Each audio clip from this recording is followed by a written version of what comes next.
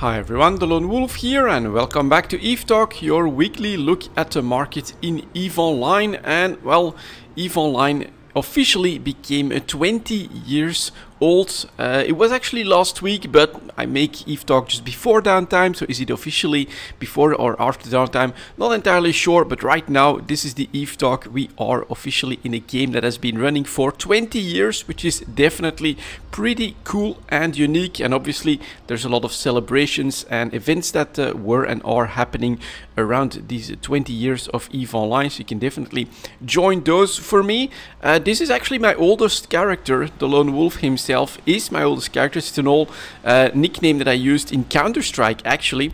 And uh, he has been born on uh, the 12th of November 2009. So I've been playing EVE Online for 13 and a half years at this point. If you want to, let me know in the comments uh, how old your oldest character is. I would definitely love to know. But other than that, uh, I don't have that much when it comes into news. So let's uh, take a quick look at the New Eden store. I'm not sure if there's still anything going on here. We do have sales on the Blue Star Defender skins, it looks like. But other than that, in the services, we are not looking at any sales at the moment. So overall, the market should be recovered. And we'll uh, go and take a quick look right away to see what's happening with the pilot services. And that's coming in at 1 140. There we go. And uh, as always, we start with the Plex market. That's actually uh, been pretty flat over the entire week. So it bumped up a little bit. You see that we actually had big volumes with upwards prices. That's because we had a sale for Omega Time in the New Eden store uh, during this period. That has died down. You can see it has basically been easily absorbed by the market. We're back where we started from uh, last week. And uh, let's take a quick look then at the actual prices. So 4.7 million, just above that in Jita 4.4 when it comes to the player owned trade hubs. A little bit of competition starting to dip just below the 4.7 million. That's interesting. Definitely a little bit of pressure to be spotted here right at the tail end. These are all pretty damn recent orders. And then when it comes to the buyers, we are above 4.4 million. So still a pretty small spread between sellers and buyers. Then uh, we're still going for those 20 years, multiple pilot train certificates, taking a little bit of a dip here on the average prices. You can see how the volumes are uh, really becoming uh, absolutely nothing. Uh, but you can also clearly tell that this is no longer a regular market that is being fed by a lot of supply as all of a sudden the daily average started to bounce all over the uh, all over the place and we're back at around the 2 billion mark on the chart which is just above 2 billion for the sellers and there's still a couple of buyers that are in here but for maybe 10 of them or so at 1.4 billion hoping to still snag a cheap multiple pilot trade certificate. But as I've mentioned before that has basically moved straight into a service that you buy from CCP that you can no longer sell amongst players on the skill extractors front, we should see something very similar to Plex, at least in the last couple of days, because here you can see we have big volumes with the exact opposite effect, downwards pressure on the price, and that is of course when the skill extractors are on sale on the EVE Online website, which means that you can grab more of them or uh, you can grab them for a cheaper price than is normal. That means increased supply and that means lower prices. But for the last week, clearly a sideways movement is what's uh, been happening, still below the 500 million. So we have uh, we still got a ways to go to be back at the price level before the last sale but we are starting to dip just above that for the sellers 503 million there 465 for the buyers. So again pretty narrow spread around the current place. Uh, I basically think that we are still in that hold um, and wait pattern uh, wait and hold pattern a little bit uh, when it comes to the market because of course CCP announced the next expansion. We still don't really know exactly what's going to come with the next expansion uh, which should be coming next month. So uh, there's not that much time for announcements, then perhaps some uh, some test server stuff. So we'll see how it works out impact on these skill injectors. That's always pretty interesting and that is nice. Actually, I think a little bit of pressure, still very, very high volumes here for the large skill injectors over the last week, but we're staying below the 950 million mark. Uh, sellers are just above that, but buyers at 906 million. They are trying, trying to bring that price back down a little bit, not really succeeding that much. Uh, two weeks ago they were doing a little bit better, bringing the buy prices below the 900 million, but demand seems to be strong enough to still be able to command these 900 to 950 million, really a pretty high price on the one year uh, chart. Pretty historical price as well, of course, almost a billion ISK uh, for this large skill injector. It is very expensive. We can see that the market is also having trouble uh, continuing to go back uh, to go up. So breaking above that 950 is a tough sell uh, for uh, for the market as well. The impact on the uh, small skill injectors then still really doing its own little thing. You can see how at the tail end here we're starting to go up from the current price range. And that means we are up to within Jita 900 192 but coming in at 194 almost and 195 coming into view pretty quickly with a 180 million which is 12 million spread. That's pretty much the same here but while we have a little bit of pressure downwards pressure on the large skill injectors at the tail end in the last couple of days. Clearly we have some upwards pressure in the small scale injectors. And then finally we have the daily alpha injector that is still staying within the 45 to fill a 50 million range. Below the 50 I think that's pretty important. So this is two, three weeks at this point that we have been able to cross um, or to stay within that range after the CCP sale. Uh, how long will it last though? That's going to be the interesting part here. 48 million for the sellers, 45 million for the buyers though. So that spread is definitely starting to shrink as well. You can see how those minimum prices are starting to edge up a little bit lower at the tail end here, but I think that that upwards pressure is basically unstoppable for the daily alpha injectors. And then finally, we've got the hypercores that have done something completely different here as well. Actually, pretty normal. Why would there be more demand?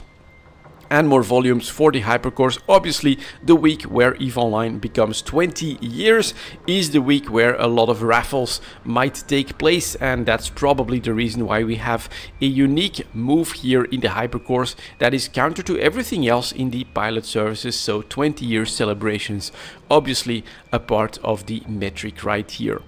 Next up, let's move on to the minerals coming in at 730. And as always, we start with the smallest one, or price-wise at least. Here is Tritanium, and that is not good news. I was really hoping that we would be able to maintain a sell price above the 4 ISK, but that's not the case. Just the opportunity to sell above 4 ISK seems to have brought in enough supply to crash the price right back down. And so you can see within Jita 44, 399 coming into view after that we go up to 408 so there is a little bit of chance that that we can get back there by next week but at the moment and that is unfortunately the response as we get to 420 we're talking 1.1 billion 300 million another 200 another 300 and even here at 411 it's 600 million units and then another 300 million at the 410 it's just too much supply for the market at the moment and so the pressure is on. There is demand though so that is the good news. We're still coming in at 390 for the first buyer here as well although that gap opens up pretty quickly to a 380 uh, after that. So it's a difficult market at the moment. Everyone spots we're above 4 ISK, so we want to sell. Uh, we want to take opportunity of that better price, but it's just too much for the market to bear, and we are going back down below 4 ISK for the average tritanium price. I don't think the other minerals will be doing all uh, anything all that different but well pyerite managing to go back above the 10 ISK uh, for both sellers and buyers that definitely feels like it actually might be a little bit different although the spread is just absolutely tiny. 1045 to 1030 is one of the smallest spreads I think we have seen uh, for pyerite so there are buyers again in that uh, market. 1030 uh, is, is pretty damn reasonable. You're easily now selling your pyerite above 10 ISK but my fear is that we've got this for a couple of days now and that this will be spotted as another sell opportunity. Too much too many uh, units will be coming on the market and we are pretty likely to see this come back down just like what we've seen for tritanium a little bump that manages to last perhaps about a week and then the pressure is back on. I'm suspecting we'll see something similar here for pyerite. I hope i'm wrong. I hope we can go back up in price but unfortunately uh, for now that seems to be the pattern especially as Mexallon continues to go back down. Here we even have a couple we even have a couple of days with minimum prices below the 50 that is not good. 50.5 uh, for the sellers 48.74 for the buyers. That's definitely a bit of pressure here. Trying to bring that price of Mexallon below the 50 ISK and I think unfortunately that they just might succeed because this is pretty bad news if you look at it from a, a, a full Highsec supply perspective this should even um, decrease the amount of miners that are focusing on Mexallon, but they, then they're likely to focus a little bit on Pyerite, for instance, bringing that price back down. So at the moment for Highsec miners, it is very difficult as all your earnings are clearly under pressure uh, due to, I would say, oversupply and not by that much. There is demand but uh, there's just too much coming in for prices to remain at the current uh, heights well, if you want to call them that. Next up we've got Lowsec. So here is uh, Isogen, very, very steady uh, on the 600, just below that at the moment at 590. So sellers are on that 600, 602 for the sellers, 594 for the buyers. Really a tiny spread here, and that's the difference once you get from uh, Highsec to Lowsec and to Nullsec. Uh, the suppliers, the miners, are in control of the price. They dictate what the market is going to pay for that. For the Highsec miners, there's just too many of them. That's really not that easy to do.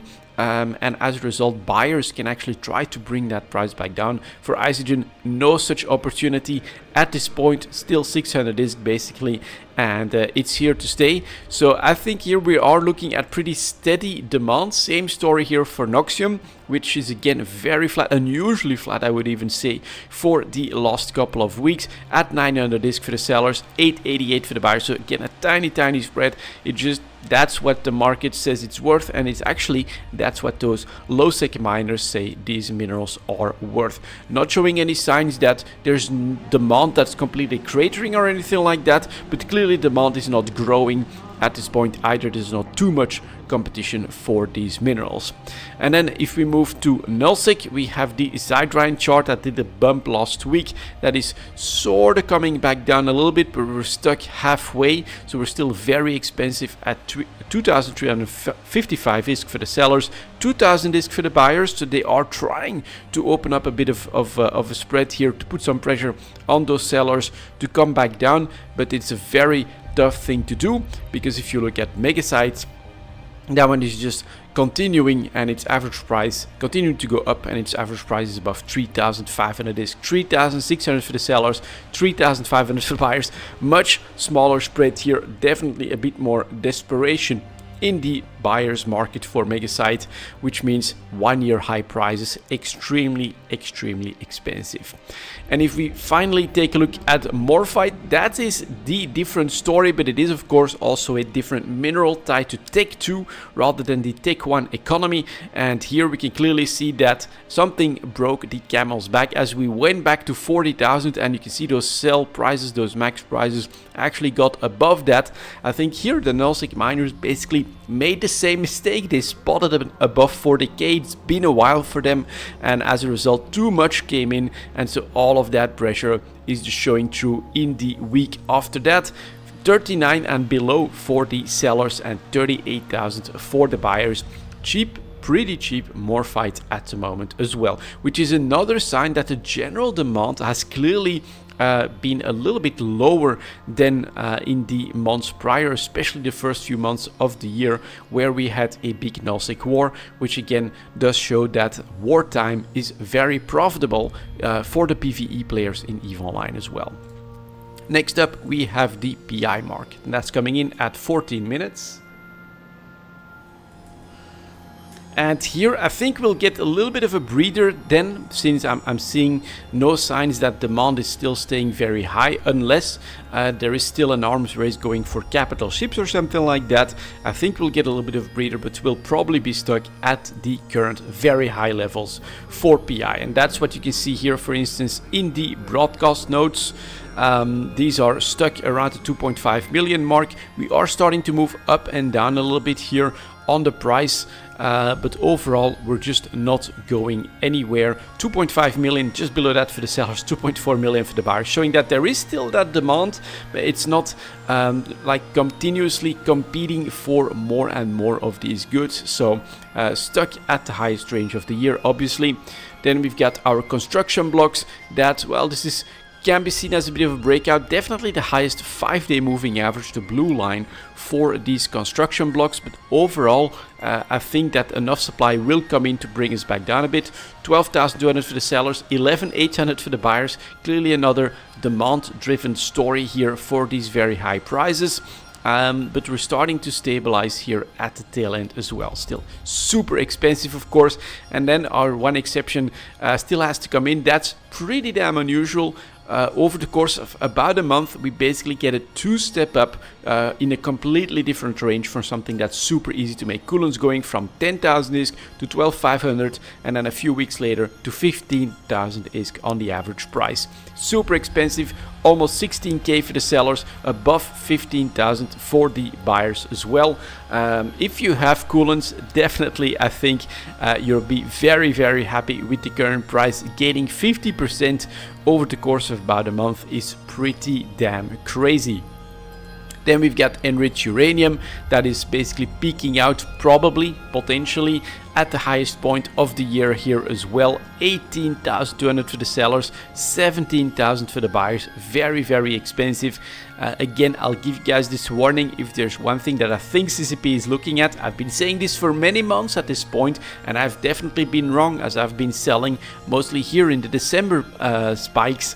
Uh, so I've definitely been selling too early, but I do think that CCP is looking at this and that they won't be all that happy with this rather passive playstyle in EVE Online being uh, PI materials uh, to become this much of a value and in my opinion potentially a bottleneck in the EVE Online economy. Something might just happen. I also don't think that they want to nerf right around the 20 years of EVE Online, but perhaps as part of the expansion, a bit of rebalancing is possible as well. This is pure speculation on my part. I could be completely wrong, but that is something that I would keep in the back of my mind. And so I'm still, still anything that I make from PI, I just bring right to the market and I sell because I think that these are uniquely good prices.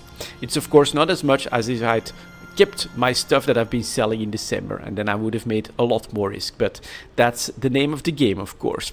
Integrity response drones then right after uh, right early May dipping down down you could say at to 3 million still a very expensive price of course we are recovering. So 3 to 3.3 million is basically what these integrity response drones are going for. Buyers here a little bit desperate 3.2 million to 3.3 million tiny tiny spread. Definitely very expensive as well.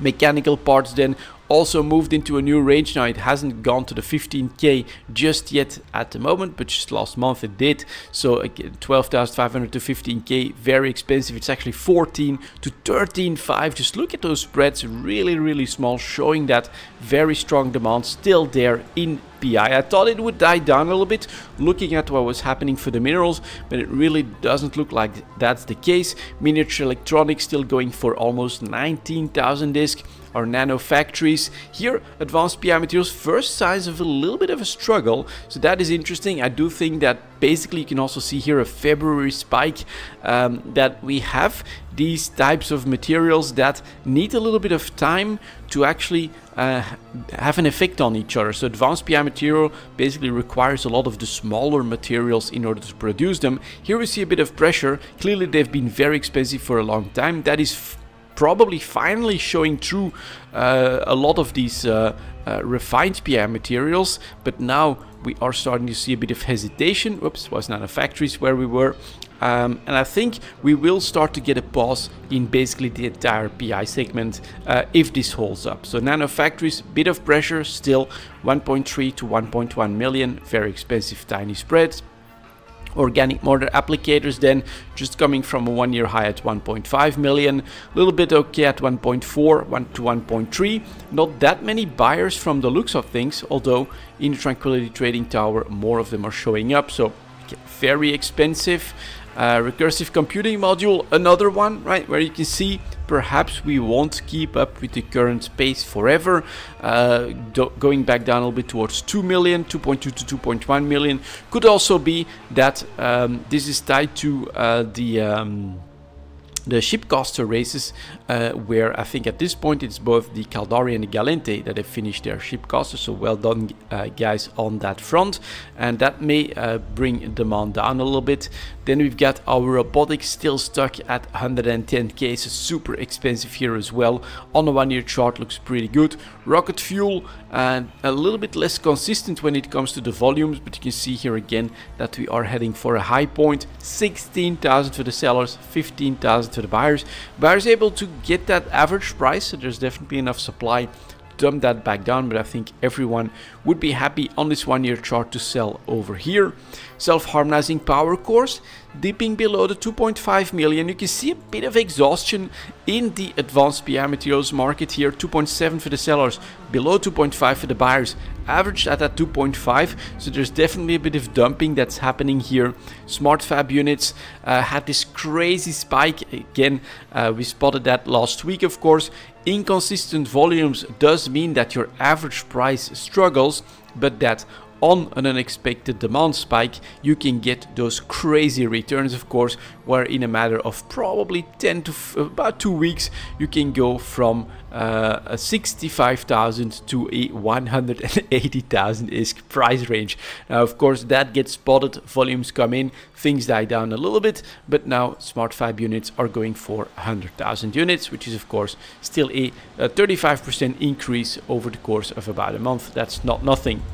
Sterile conduits next, advanced PI materials, so again some signs of pressure, definitely seeing some lower price points for the last couple of months here. It's nothing all too drastic as we're staying around the 125, but buyers below at 1.2 million and they're starting to grab a little bit of the supply there. Supercomputers then still super expensive, just below 150, basically flat for the last couple of months, very expensive. Again, you can see how I was early selling here in December, um, so uh, that was my mistake, but uh, again, I'm not sure how long this can last. Synthetic oil uh, was also one that was dipping down below the 10,000 is, but you can clearly see that the average daily averages are starting to trend back up and we are in fact at 12,000 for the sellers. Buyers here though a little bit more careful. And then we've got our synthetic synapses, uh, 5-day moving average at the highest price point again over the last week, 130k. Transcranial microcontrollers. This is probably also due to the event that's happening because Tech 3 chips are uh, pretty good I think in those and uh, then implant sets can definitely help there as well. So we are talking super expensive Implant related specialized PI materials, 116,000 for the sellers, above 100,000 for the buyers as well. Water cooled CPU, definitely pretty unusual as well. Something that has or had, you could say, inconsistent volumes, was only worth 5,000. Is doing another double step as well, below 10k to probably 12,000 here. I think, yeah, just shy of 12,000 and is now settling on daily average prices of around 13,000 ISK. Uh, almost that for the sellers, 11,400 for the buyers. Be a little bit careful, although clearly the buyers have completely capitulated here. You can see those minimum prices just shooting up over the last one and a half months. This is one, another one of those PI materials that has those less consistent volumes, and that could mean that a serious pullback without even a CCP intervention is absolutely possible. And then finally we have our Wetware mainframes that are healthily staying above 2.5 million. So while there are some signs in advanced PI material that there's a bit of exhaustion for all the buying, um, that has definitely yet to ripple through the rest of the uh, smaller PI materials. Those are still super expensive, some of them making one year high points as well. Uh, but, but yeah, I, I, would say be very careful uh, and I would definitely try to take advantage of these extremely high prices at the moment. I, I could be wrong on that, I've been wrong before, uh, but the expansion could be very interesting for PI, I think. Uh, if there's any rebalancing, non-ship rebalancing that CCP might plan, it would be here. Next we've got advanced moon materials coming in at uh, 2420. Over here we'll just have to see if stability is uh, continuing. I personally think that's the case. Minerals, a little bit of pressure, nothing too crazy. PI, a bit of pressure for advanced, but overall very expensive, so pretty stable situation. Let's get started here. Crystalline carbonates immediately showing me that I am wrong, shooting up to a 175 from 125. 50 is increase here is not nothing, um, probably a 30% or so. Uh, tiny volumes though, so this higher price not really liked by the market too much, but yeah, sellers 175, buyers 165. So definitely a substantial move all of a sudden in crystalline carbonates. For Caldari, it's titanium carbide that was already heading up and is also doing uh, an extra high price jump, uh, probably a one year high point, very close to the December spike on the advanced Moon Materials nerves, 175 to 170 basically in line with crystalline there. Then we've got Minmatar, which is for Fernite carbide, continuing to hover in the 110 to 125 probably. So we're talking 115 to 113, tiny, tiny spread right in the middle of the numbers that I gave. And then we get tungsten carbide finally. That is also doing a bit of surprise jump probably close to the highest price point if we disregard this weird uh, jump here uh, with a couple of anomalous data points I would say in mid-January. Talking 183 to 181 so again very small spreads but carbides jumping up practically across the board except for the Minmatar version. Very unexpected in my book very unusual. Definitely a bit of a sell opportunity especially if you're still sitting on pre-nerf, pre-December uh, carbides here. Metamaterials front next here is the Gallente version photonic metamaterials staying well above average but within a range of what was gained 10 to 12,500 so 12,200 to 11,500 pretty normal price. For Caldari, it's non-linear metamaterials, you know, holding on to the gains, a bit of pressure at the tail end, so a bit too much too quickly, uh, but definitely the most expensive one so far, 16,000 to 15,400. So that's actually not unreasonably more expensive than the Gallente version in my opinion. Then we've got plasmonic metamaterials, uh, Minmatar again struggling a little bit to maintain the gains, although in the last couple of days we're back up to 12k for the sellers. Buyers 11,350, definitely following suit a little bit. And then for Amarr that was already pretty expensive, is able to stay above 15,000 discs. So that's alright as well. 16,000 in fact for the sellers and the buyers. So the meta materials have made their gains. Definitely better than right after the nerf for a couple of them. So another, in my opinion, sell opportunity if you still invested like me for metamaterials uh, before the December nerf down here. So a little bit of upwards pressure in these uh, first uh, few. Let's take a look at the other advanced Moon materials, uh, if that upwards pressure is translated here as well. Fermionic condensates, very flat and in fact a little bit of pressure at the tail end here. So this one is going for 45,000 is basically zero spread. Then we got Ferrogel plateauing at 30k, pretty impressive chart in the last half year or so, uh, where you can definitely have potentially made about 100% in profit from the very low point. Then we've got Fullerides flat at 700 disc, that's basically the gains right after the nerf in December and we've been stuck there for a while and then we've got our hypersynaptic synapses that is doing another you could say in my opinion at least bit of a surprise jump back above the 6000 disc after seeing a bit of pressure. But that was the December nerf going back above 6k then here looked like capitulation but the market said nope we are going right back up. Nano transistors did a spike um, about 10 days ago here up to 4k so definitely seeing that potential upwards volatility a little bit. It's not enough in my opinion to trade or to expect a lot of volatility in the tech 2 ship market but it is there. So there might be something slumbering here.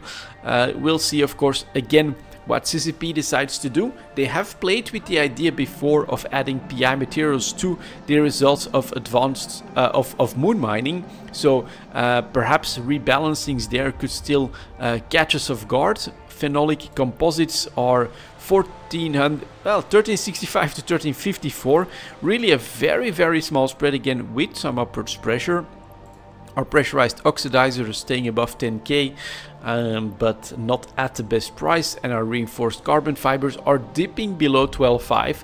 So here we clearly have a bit of a mixed picture, some of them going up, some of them going down, and uh, and staying flat. So overall, um, very much a market that is you know, doing its own thing all over the place. Look here at ceramic fibers, just coming back down from a spike up to 500 disc, which is a pretty significant sell opportunity. 415 still for the seller, still pretty damn expensive. So advanced moon materials, it's all about keeping an eye on it. And if you have made your investments before the nerf, uh, you can, uh, before the nerf for moon mining that increased prices, you can definitely look for those sell opportunities, but it is not a, uh, a uniform move and there's definitely, in my opinion, not a lot of volatility to expect crazy stuff in Tech 2 ships, which is the next segment, of course, coming in at 3010.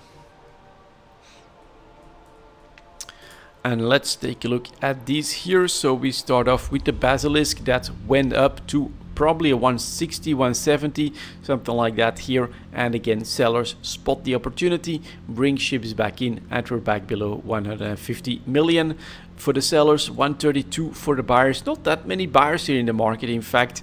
Um, if we touch those minimum prices if they touch 130 you get another potential jumping point. That clearly seems to be the pattern here then we get the Cerberus, same story, did a bit of a jump to 180, spotted supply coming in, and buyers are already back below 150, back below 140, 162 to 137. That is almost actually here is your sell opportunity, here's your buy opportunity. You could have bought here as well. That is almost a tradable move down here. So buying below 140 and then looking to sell at 180. That's definitely uh, potentially what can happen here. Pretty interesting. I did not expect that to be in our slow and steady uh, gainer of Cerberus. That was just really steady here. Bit of a jump up, bit of a jump up going down above the 150. Nothing all too special, but here at the tail end, that's pretty interesting. Then we have the curse next that is starting to meander uh, at that new high range. So it looks like if you can buy below 180, that might be your new jumping point. And we might just be there now. Yeah, 168 to 160. So it's actually 170. Uh, below 170 for the buy orders. That might be our new jumping point for trading the damnation. Bad news for this chart, of course, you can clearly see how the volatility seems to be trending down on this one. Then we've got the Damnation. That one was 400 million here, here, here. Command ships, to my surprise, the larger ships have been the best to trade in. The smallest ships like the stealth bombers have been the worst to trade in. We are coming back down from that, but clearly the market is again signaling that potentially jumping points are at three below 300 million for the buyers in the damnation. We're not there yet, but look at that pressure, 338 to 328, and you just need to get rid of three buyers and you are below the 300 million. You get your opportunity to jump back in and the damnation here has shown that 400 million sell opportunity has been possible three times already in the last four five months. So that's pretty nice, but can we keep that momentum? I'm really not sure. The Deacon, as I mentioned, smaller ships not doing that great. One sell opportunity here, pretty pronounced uh, at 30 million for Deacon. But other than that, we've been stuck above 20 million. It's basically a in my opinion, not a great chart to be looking for trades. Uh, the Eagle, a little bit better, definitely doing a jump here. 150, even 180 on a single day, coming back down from that pretty quickly. So I'd probably look at buying below 130. We're just there. So perhaps the jumping point for the Eagle is materializing right now. EOS command ship if you're looking for more volatility, again, this is pretty damn good. Another one, two, three sell opportunities at 400 million. We're coming back down and I would look for, can I jump in below 300 million? Yeah, absolutely. 258 now for the first buyers. That's pretty nice. There's definitely is to be made on a chart like this. Then we get the Ares starting to come back up and again we're starting to spot those patterns in my opinion. Buyers dipping below the 40 million, that's a little bit too low for the market, probably for the producers as well. So we're starting to dry up and at the moment, so if you bought below 40, you're selling at 55 million. That is not a bad trade. Then we get the Flycatcher, unfortunately smaller ship, again more on the slow and steady, uh, coming back down. I'm not sure though Uh, we are touching the 40 million. I would consider that a potential jumping point for the flycatcher. I'd love to lose the first four and be able to buy below 40, but this is pretty reasonable. You can again see that we are touching that for the first time and we're starting to unfortunately go back up in the daily averages already. So in all likeliness, your buy opportunity is already over. But if this can then show a little bit of volatility after this, perhaps some trading is possible. Uh, the Guardian was better is coming back down. Uh, touched 130 here on a day but for now we are talking 148 to 137 million. Perhaps uh, below 140 uh, is what we can be looking for for uh, for the guardian but i'm not sure yet right? This is definitely a nice double top and uh, here we, in my opinion, still have to look for what the new bottom price will be, what the new jumping point will be. The Heretic, one big bump and then very flat. So Interdictors had this one very nice sell opportunity, but other than that, completely lacking in volatility. Stealth Bombers, this is actually uh, almost depressing, staying below 20 million and just barely going anywhere. You can't really trade in that.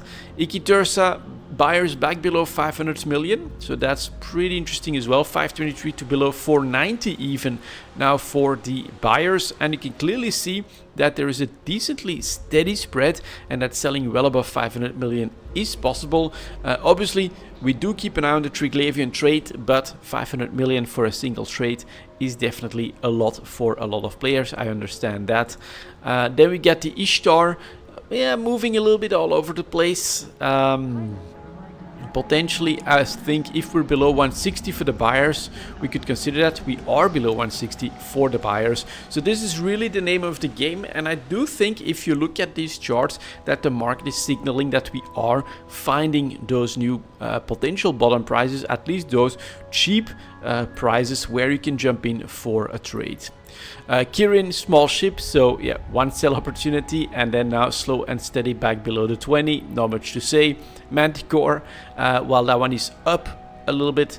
Again, very, very steady at the current price range. Can't really trade in that. Nemesis, same story derek and This is really a surprise because from my historical perspective, stealth bombers have always been great ships to trade actively. Uh, way better than some of the bigger ships.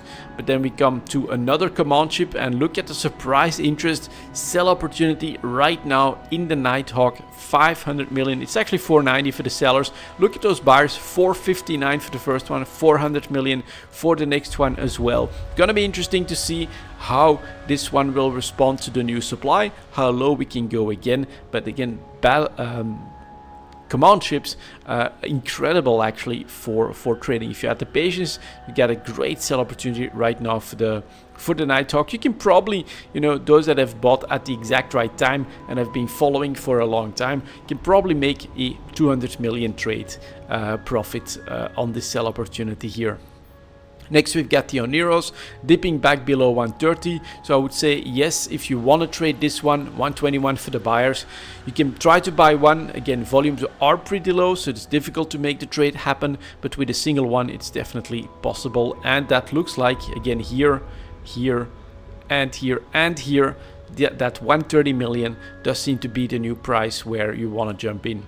Purifier, one spike and then flat above 20, so that's another no. The Rook, a little bit disappointing, 150 to 200, it's practically tradable, but uh, it's definitely having trouble showing enough volatility in my opinion.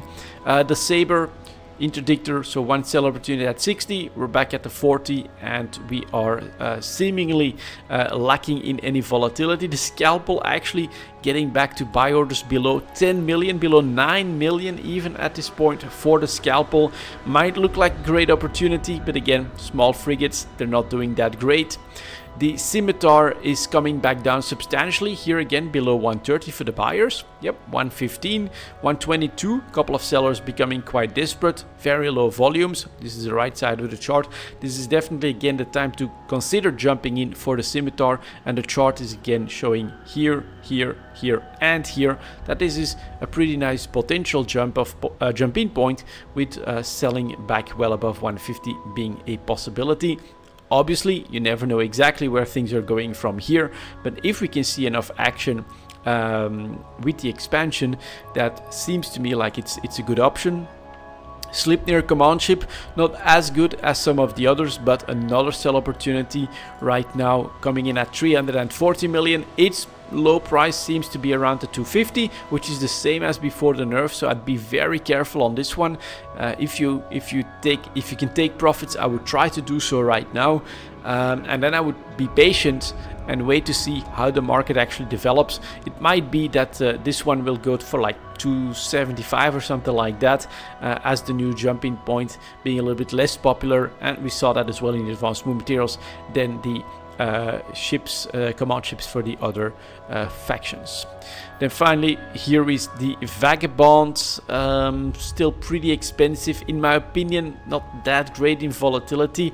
Did um, start that volatility just on the announcements, obviously 130 to 180 in a, a couple of days, uh, but we're struggling to get back to a really low range. So I'm not sure. If you can buy below 150, sell close to 180, it's alright. But that might already be off the books looking at the chart here. And then finally we get the Zarmazd also seeing pressure. Unfortunately, minimum prices still above 400 million, so that's still a little bit too much. Not a short trade just yet. Uh, definitely want to look at the other option, the Ikitursa there, rather than this one at the moment. So for 2 Ship, definitely pretty interesting and the unusual pattern here that I personally did not expect is that it's the command ships the the most almost most expensive uh, Tech 2 ships. We still have battleships, of course, and potentially capital ships coming. That, honestly, guys, that is something to think about as well, right? These might look like nice sell opportunities, but if we get Tech 2 capital ships, that could be huge uh, for, for people that are still holding the two ships. That could also be very big if you have jumping points right now, of course. Something to consider. Uh, but uh, overall, you can do a little bit of trading in Tech 2. Unfortunately, uh, the smaller ships really anemic, so you gotta focus on cruisers, uh, command ships, uh, Tech 2 uh, logistics cruisers, stuff like that is doing a lot better for active trading. And then we get our Tech 3 ships, 4130.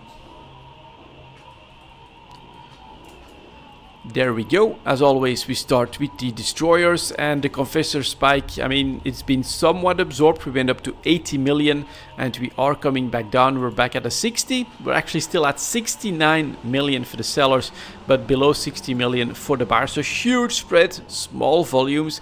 Definitely a difficult uh, market, in my opinion, to get a good feel for. I think it's just Sometimes it's nullsec meta, sometimes it's event meta, but other than that, other than unique niche uses, these, uh, these uh, tactical destroyers are not all that popular, so it's all on, well, actually these are reasonable volumes, so the Hecate going back up substantially.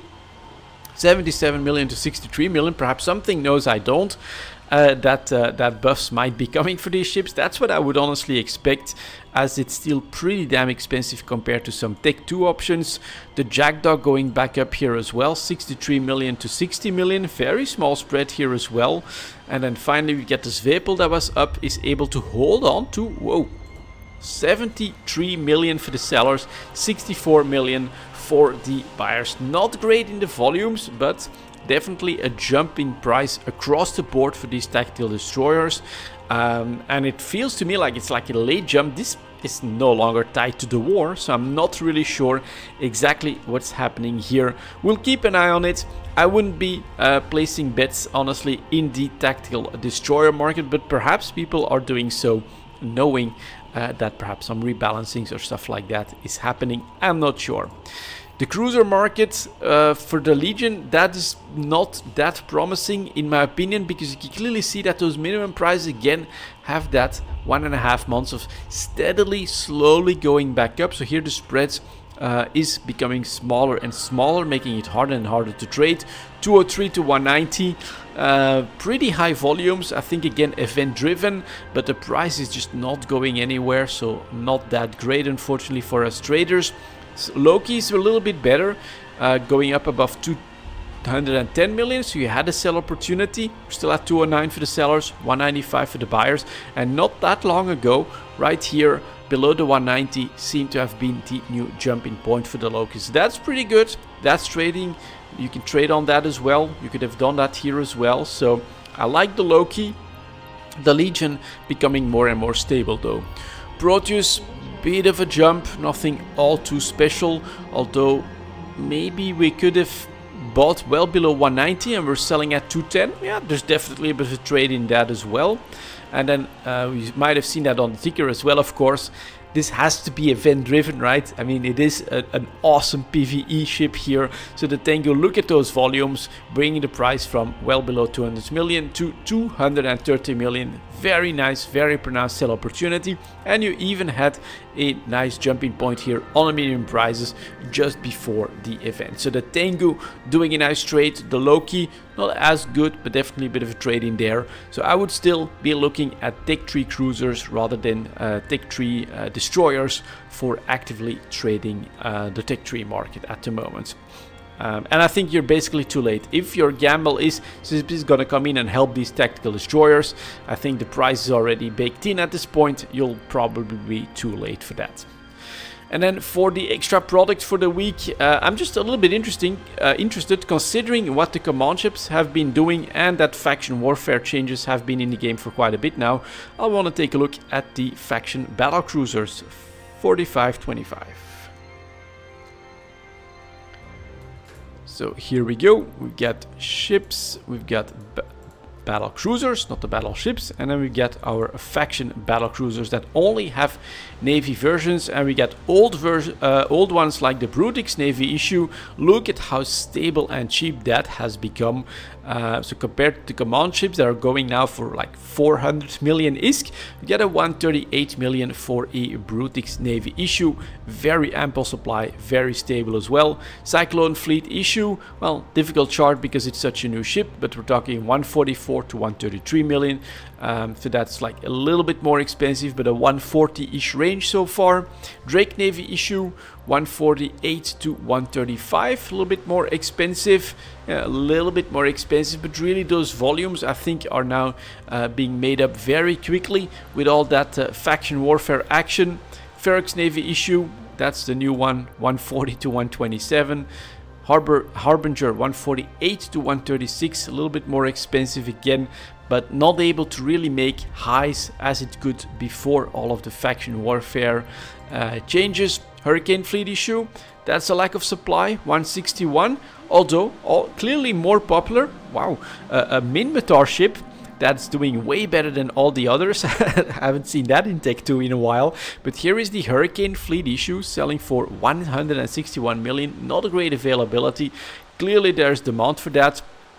Myrmidon Fleet issue, one of the new ones, 140, 128, so right in the normal price.